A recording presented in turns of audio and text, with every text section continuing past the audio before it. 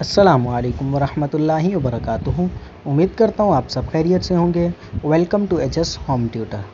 तो आज की इस वीडियो में हम आपको सात दिन के वज़ाइफ बताने जा रहे हैं क्योंकि इमाम गज़ाली अलैह ने फरमाया सात दिनों के वज़ाइफ।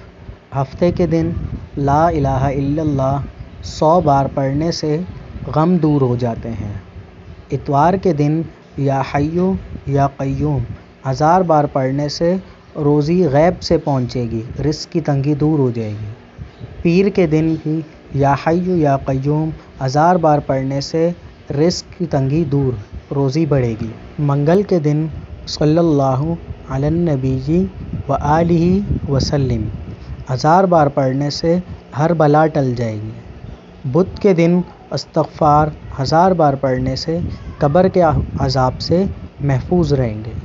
जुमेरात के दिन ला इलाहा इल्लल्लाह, अलमलिकुल हक़्क़ुल मुबीन।